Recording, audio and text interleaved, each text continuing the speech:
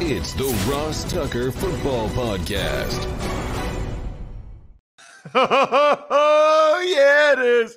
But it's not just any Ross Tucker Football Podcast. I would never do that to you. It's actually a Tuckheads Tuesday. What does that mean? It means we're doing the power rankings tomorrow for two reasons. Number one, Brian's travel schedule. And number two, I couldn't take it anymore. I had to talk with Dean Blandino. I am so tired of all of the flags. I'm so tired of all of the clear points of emphasis that they didn't tell us about before the season. I had to talk to former NFL VP of officiating, Dean Blandino, who now works for Fox. You guys all know him. He's on TV all the time. We'll get to Dean momentarily because I had to get to the bottom of it. For you guys, for the Tuckheads, you deserve it. We all deserve to know what the heck is going on with our favorite sport. You guys know the drill, whether it comes to spread the word winner at Ross Tucker NFL, at Ross Tucker Pod, sponsor confirmation, email winner. I still have four Maddens to give away, four more Maddens. You know how to get one if you want it. And then the YouTube shout out, youtube.com slash Ross Tucker NFL. Patrons of the day, Debbie Bryant and Bill Surrey. Patreon.com slash RT Media. That is where it's at. If you want to get all the even money bets, we'll have even money recorded 2 p.m. Eastern time today. I know you love the even money bets. You get them in black and white at patreon.com slash RT Media as long as you become a Tuckheads member. It's big show time. The Big Show. All right, I already mentioned him. Uh, one of my favorite guys to talk to in the NFL because he's so knowledgeable about something, quite frankly, that no matter how much time I put into it, and I try so hard, Dean. I do college games, I do NFL games. I review the rules before every game. I've got all kinds of notes. There are still once a game, something comes up a lot of times that I'm not a hundred percent sure of which is why I think it's terrific that more and more networks have people like you there to clarify because we can't be an expert in everything. Well, you can. I know you you're pretty close. You're pretty close to an expert in everything. But officiating, we still need a couple of other people to help. Um, but it, it's true. I mean, I'll I really feel like the value that that people like myself, Mike Pereira, others, Gene Steratore, that we provide – yeah, we might go on camera once a game and, and, and clarify something, but we're talking to the producers in the truck throughout the game on on anything rules or officiating related and then they can relay that directly to the on-air talent and then the on-air talent can just reiterate that and then we're not misquoting a rule we're not we're not kind of sending the fans down the wrong path and that happens I mean, that can happen 25 times a game. So that's really, I think, where the value, because like you said, there's always something that comes up. Even as someone like me that spent my entire career in officiating, there's plays, there's plays like Thursday night that come up that you haven't seen before that you have to take a step back and kind of and kind of break it down a little bit. Did you know, Dean? Did you know that you're allowed to have two forward kicks? I did. I did know that because I've spent so much time with special teams coaches in my time at the NFL, I would talk to special teams coaches every day. And they're, and you know this, right? From playing in the league, they're always thinking of different things. They're always trying to come up with these exotic plays. And and so, you know, we always talked about, hey, if the punt is blocked, can my guy kick it again? What can he do? Can he pass it? Can he run? So it's a it's a unique play. It doesn't happen very often, but that's something those special teams coaches you know, we we've definitely talked about it before. All right, so Dean, I, I want you to pretend like you're the commissioner or you are in charge of everything. You're in charge of the football world for a second, okay? okay. I haven't seen the latest data to see if there are more flags being thrown this year than the last few years. Uh, you probably know. Do you know, Dean? Well, yeah, there's more. I think what we're seeing this year, last year, fouls were down significantly, like historically low. Like we hadn't seen numbers like that since the early 70s. And, uh, and, and so, you know, 12, 12 and a half a game. And this year we're seeing it more back towards the, the norms, right? 15, 16 a game. So I don't know if that's just, we were, we, we got, we got attuned to kind of an, an accustomed to, you know, not a lot of fouls a game last year. And now we're back to where it used to be. And we kind of just forgot. And, uh, and it feels like more. Um, I think there have been some games like obviously Sunday night, yeah, that, that's an outlier, right? There were 24, 25 fouls. You don't see that very often. Um, so it, it, feels even even more, but it, it really is kind of where the, the historical norms have been, right around 15, 16 a game. Okay. So what I've never understood, Dean, I, I am totally fine if it's an obvious foul like the guy tackles him and it's defensive pass interference. The guy tackles him, it's offensive holding or whatever, right? Sure. I, I am totally fine with throwing that flag. They need to throw that flag. Where I get especially frustrated, and it felt like last year they did a better job of this. I don't know what happened because that's too significant, Dean. Like to go from 12, 12 and a half back to 15 or 16 Either they told them something before the season last year, they said, hey, let's get these games done with. Don't be throwing the flag all the time. Or this year they said, hey, look for this, this, this. Because I'll, I'll get into that because there's a couple I think that there are points of emphasis that they didn't tell us about, but it seems clear to me. I guess I feel like if I were the commissioner, if I was in charge, I would say to whoever's in charge, whether it's Walt Coleman or Troy Vincent, whoever you, you tell me who's in charge. I would say, listen, nobody wants the fouls, nobody wants the flags, nobody wants the stoppages. So when in doubt, don't throw the flag. Because I think what's frustrating for me, Dean, we're seeing a bunch of ticky tack fouls and flags being thrown on questionable holding, questionable roughing the passer, some questionable pass interference. I just don't understand who at the league office thinks it's a good idea to throw the flag in those situations? Yeah, look, and you're I agree with you 100% and that's that's basically the messaging as long as I've been involved in officiating it's it's not a when in doubt throw the flag standard. It used to be years ago when when it came to player safety. I remember them used to say err on the side of safety, err on the side of safety. And I remember Jack Del Rio you know, I said that one time in a, in a competition committee meeting, and Jack's a pretty big dude, and he and he got fired up, and I was like, okay, I'm not going to say that anymore in front of you, Jack. It's fine. But but we kind of went to look. You've got to you've got to protect the players. You've got to protect them from unnecessary risk. So you got to strictly enforce players' safety fouls, but you have to see the entire action. You can't. And if there's a question in your mind, don't throw the flag. See the entire action. And you just said it there are fouls that need to be called because if you don't, if you have a team that's going to be aggressive, that's going to push the envelope, and another team that's going to play by the rules, the team that's pushing the envelope is going to gain an advantage if you don't throw flags. So you got to get the calls you need to make. And then there are these calls that, yeah, maybe you could call it. It's technical. I could look in the rule book and maybe justify it, the ticky tack ones. You want to stay away from that. And it's felt more ticky tack this year compared to last year. I think last year was they were letting too much go, but but I think there's a there's a sweet spot where it's calling the, the ones you need to get, the ones that you can see the whole action, stay away from being overly technical. Um, and and you know let the let the flow of the game and everything don't unnecessarily stop the game and, and I think we can get there. It just feels like the first couple of weeks we're we're not there yet.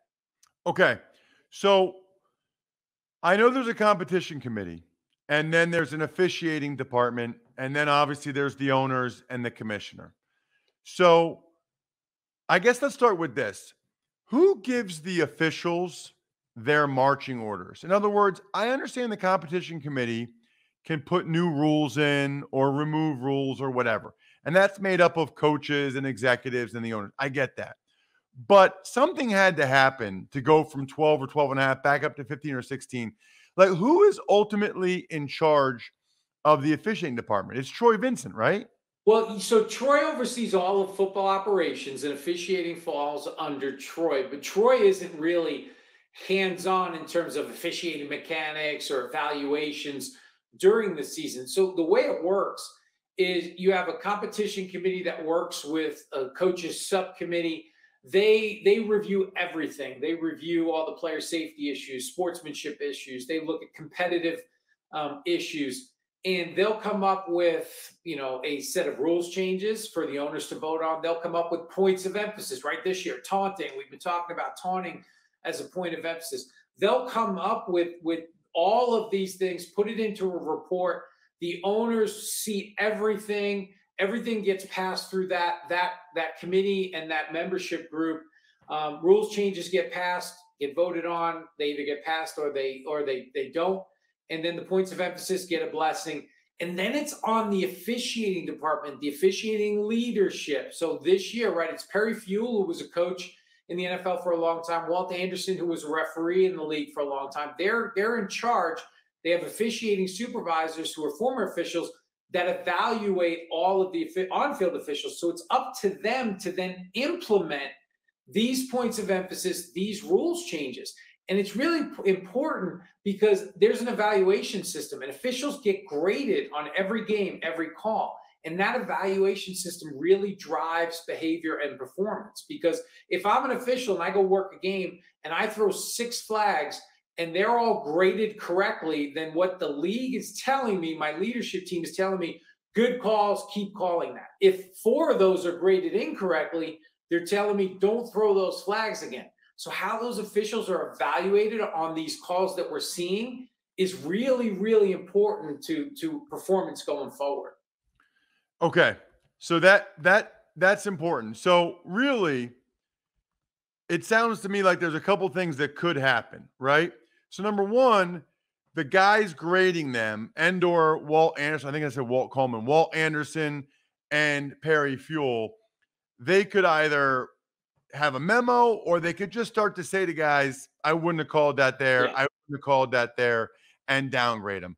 I'm assuming the commissioner could say something to Perry Fewell and Walt Anderson, or Troy, or someone could say, guys, what are we doing here?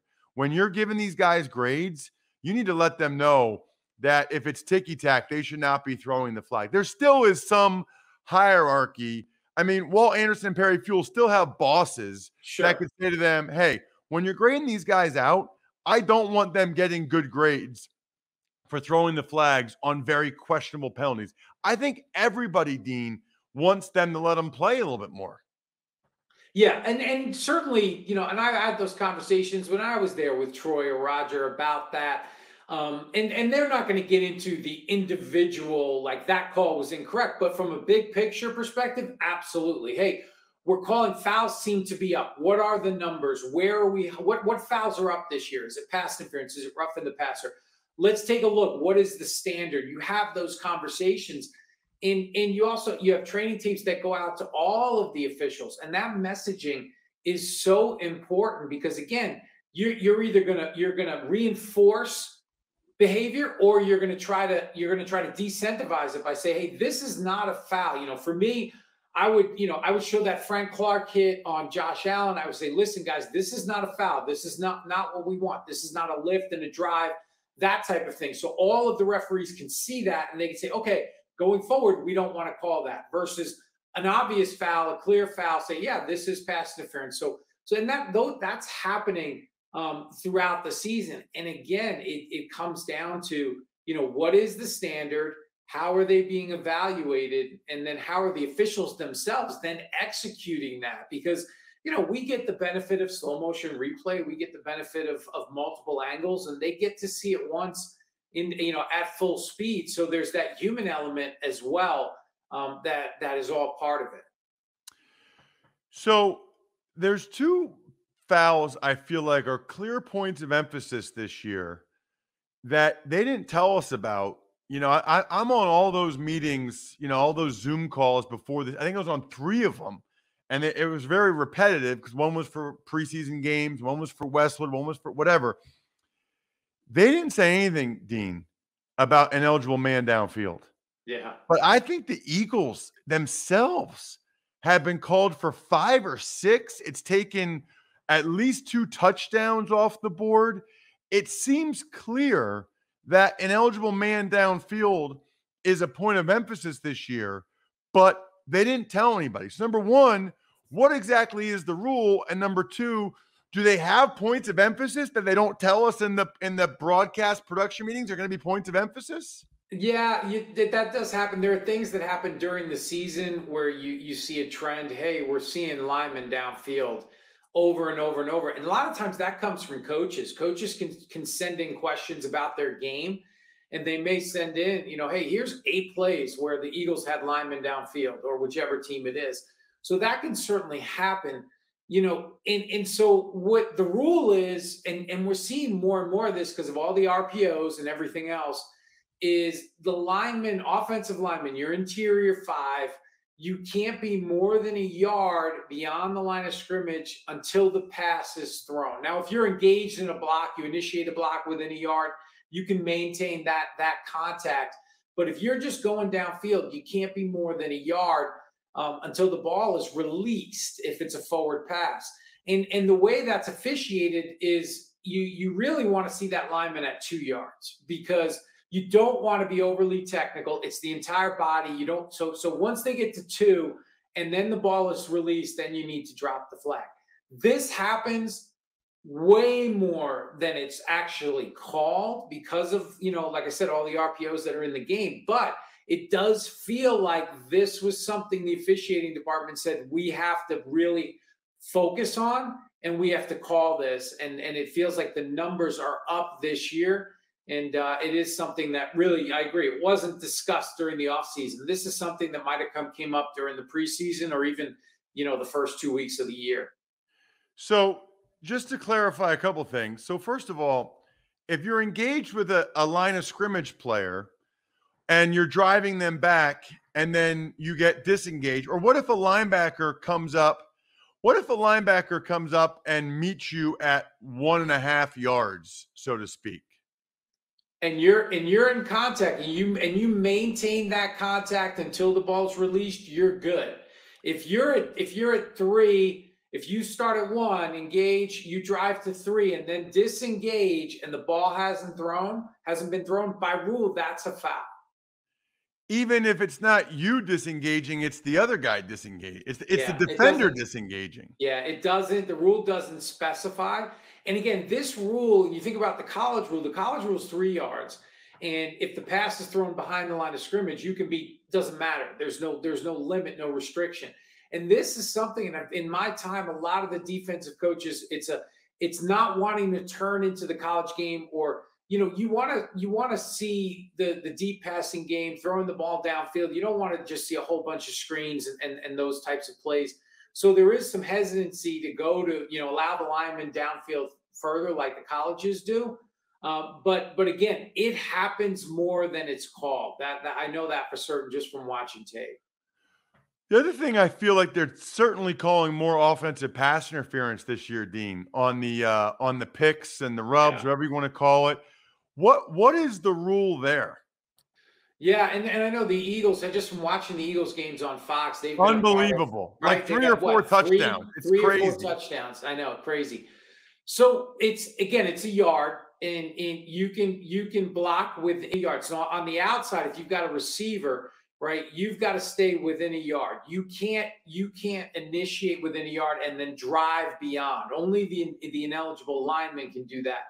So it really comes down to, and and I've had conversations with with you know people at the Eagles about this in the in the off season and and during the season. You know, it comes down to the route running posture, pass catching posture versus blocking posture. And because it's so, because a lot of times the defender's initiating contact within five and the receiver's just trying to get off that contact. But if now if you turn into that defender and you're presenting a, a blocking posture, and now you drive into that defender and you're more than a yard downfield. And now that other that second receiver cuts underneath that's when you're going to get the flag. So if you run a route and you're in a pass catching posture there can be contact um, you know beyond a yard. But if you're in if you're blocking or you're setting a pick and you're initiating that contact with that defender you know you don't you don't set your you know your if you've got position on the field and you've established yourself there um, that's one thing. The defender's got to go through you or over you or under you. but but you can't you can't set like a moving pick and at the last second try to get out of the way and create some contact. That would be a foul more than a yard downfield before the ball is caught. You got to check out this man on social media at Dean Blandino. Clearly, he is fantastic. Awesome stuff, Dean. This is exactly what I wanted, especially since I'm calling the Eagles Bucks game Thursday night for Westwood one, and the Eagles get two of both of those penalties every game. this was this is part part prep for me, and part I just wanted a better understanding of just the process in general. Sunday night was not not a good product for the NFL, and I feel like that's happened uh, too many times this year. Yeah, Sunday night. Those are and those are hopefully one-off games where there's a ton of stuff going on. And again, in an ideal world, it's the two teams that decide how many fouls there are, and the officials are just calling that, you know, what's presented to them. Sometimes that's not always the case. And I think I think they'll figure it out and then we'll get away from being overly technical and, and hopefully we won't have games like that going forward. Awesome. Thanks so much. Check him out at Dean Blandino so you know whatever Dean is up to. Thanks, Dean. All right, Ross. Thanks. Gosh, I love when I really want to get a guest and I get him and it's awesome.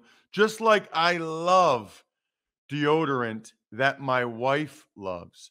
Let me just tell you, it matters a lot. I don't know why women have the strongest sense of smell in the world. My wife can smell something from like a mile away. I can't smell my own armpits. I can't smell my own body odor, although I wish I could because Native has the best deodorant and body wash in amazing scents like coconut and vanilla, citrus and herbal musk, or my wife's favorite, lavender and rose, and more. You can even build your own personalized product bundles at Native. They've got sunscreen now, Native's legendary aluminum free deodorant, plus they got body wash, toothpaste, mineral based sunscreen. They got everything now. Stay fresh, stay clean. So fresh and so clean, clean. Stay fresh, stay clean with Native by going to nativedeo.com slash Ross or use promo code Ross at checkout and get 20% off your first order. This is a good Madden winner here, too. That's native, D E O dot com slash Ross, or just use promo code Ross at checkout for 20% off your first order. Tuck's takes. Good morning, Ross. We got huge news about Jon Gruden. We'll get to that in a second, of course. Let's first talk about Monday Night Football. Ravens came back to beat the Colts 31 25 in overtime. Crazy game. Absolutely crazy game. I cannot believe the Colts lost that game. Uh, they had so many big plays. They were the better team for so long, but that's the way the Ravens play. The Ravens just keep playing and you got to close out games in the NFL. I mean, the Colts had that 76 yard touchdown on a screen pass to start the game to Jonathan Taylor. They were moving the ball again. Then Odafe Oweh uh, hit Carson Wentz from behind, who fumbled. Wentz does that too often. I mean, that Wentz played a really good game, but that fumble right there, that would have been at least a field goal would have been the difference in the game. You cannot have red zone turnovers. Can't do it. I thought the Colts defense in general did a pretty good job in the first half, maybe even the first three quarters against Lamar and the Ravens, although Lamar didn't even have the ball very often. And then you think about the second half, you're thinking, oh, okay, maybe now the Ravens will make a comeback. Nope. Michael Pittman has an incredible touchdown where he mossed Averett for the Ravens. That was awesome. Then they strip Lamar Jackson on like the two yard line. Darius Leonard picks it up. He pitches it back to Isaiah Rodgers. It was a touchdown. They said it was a forward lateral. I could have talked to Dean about that one, but I already know why they do that. It's where the ball was when it was lateral and where the ball is when it's caught. It's like a science thing. Anyway, point is, is the Colts scored a touchdown anyway. So on that drive, so I think it was Taylor again. So that rule didn't end up hurting them. But then the Colts did all the things that you can't do if you want to win a game. They missed an extra point. They went for two to try to make up for it, and didn't get it. That was a poor decision in my mind to go for two there. I, I don't think you need to chase those points that early. Then they had a field goal blocked by Calais Campbell that would have put the game away, and then they still would have won the game late, but they missed a field goal. It is unbelievable, unbelievable. All of the things that had to come together, all the things that had to happen for the Colts to lose that game, including Lamar Jackson being simply incredible. 37 of 42? Are you kidding me? 37 of 42, 442 yards, three touchdowns, and 14 rushes for 62 yards. Unbelievable. I mean, Wentz himself, Wentz was 25 of 35, 402 yards, two touchdowns. The Colts lost anyway. Kudos to Mark Andrews, who had about a zillion touchdowns and two point conversions. That that that was almost a, I would say an incredible choke job by the Colts. great effort by the Ravens, but wow, Colts, wow. Tuck's takes. Let's get to the Raiders and Jon Gruden. Uh, they officially part ways after more emails were leaked to the New York Times that included tirades against gays, women, concussion safety in the NFL, and more. Yeah, I, a couple thoughts here. Number one, it's very disappointing that Gruden feels that way about all the different things he emailed about. And I think we all know that it's just um I don't know how to describe it. Almost seems prehistoric. You know, almost seems like how people used to act or talk, you know, some people at least 20, 30, 40 years ago. So what I was going to say is it's disappointing enough that he feels that way.